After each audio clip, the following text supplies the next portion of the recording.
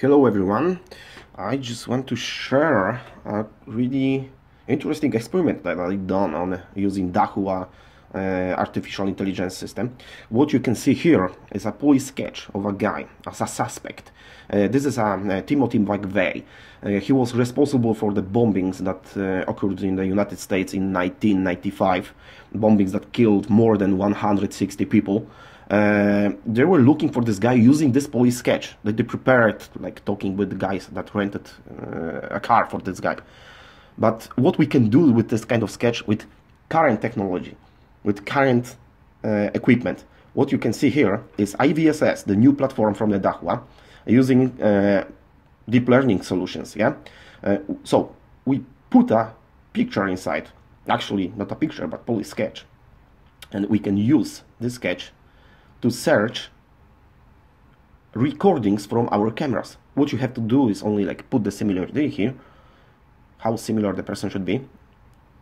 You just type in what kind of camera you want to search the recordings from and hit the search button. And from around 2000 faces that we have in the current database, 2000 faces, different people from different videos. Actually, what you can see here are pictures of a guy and also like uh, still frames from from videos. Right now i'm using like youtube video yeah? Uh, it doesn't matter what kind of video you are using for this platform because it uh, supports third-party cameras. Actually the, the camera it, it, doesn't have to use any kind of uh, video analytics because all the analytics are based on the server of the Dahua IVSS server. What else we can do? We can put this kind of picture in our suspect list eh? like blacklist of uh, uh, inside the, the IVSS and we can use this list on live cameras. As you can see here, I'm using the Dahua uh, HDMI to ONVIF uh, encoder, so I can uh, just display any kind of video that I can play on the laptop. Here is a YouTube video actually. Uh, and using this video right now, I can just run the face analysis software on it. Yeah. Oh, as you can see here, the face is captured.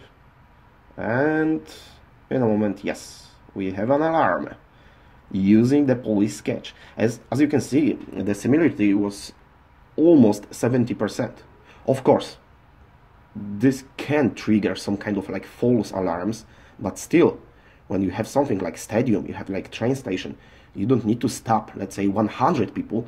You just need to pick up the 10 of them yeah the suspects that uh, the system will just uh, show you. Here, for example, I'm using really low quality image. Uh, some, some old analog camera recordings from the past of this guy. He is younger here, uh, but still, look, in a moment, we have,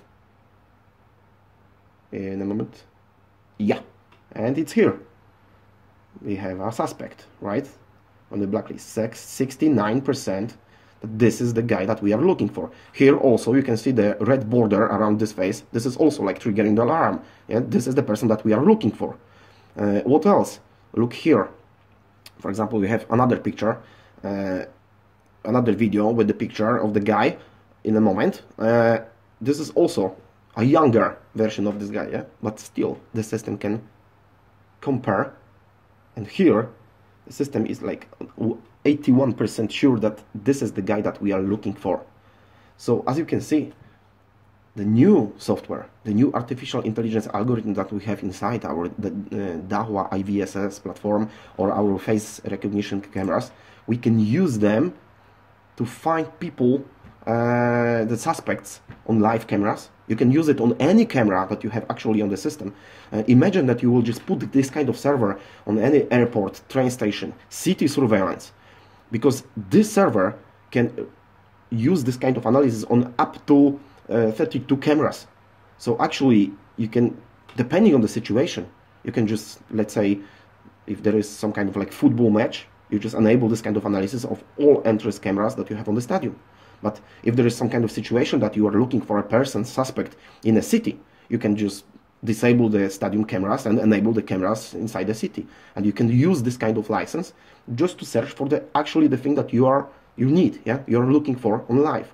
Or you, of course, you can just run this kind of analysis on the cameras that you're recording and then use a search function to find the person where he is. If you combine this with EMAP, let's say for the city or shopping mall or train station, whatever, you can really precisely just find the right person, yeah, the person that you are looking for. So that's it. If you have any questions about the IVSS and Dahua face recognition system, just find your local guy from the Dahua and ask the questions or you can just message me on the private. Thank you for your time.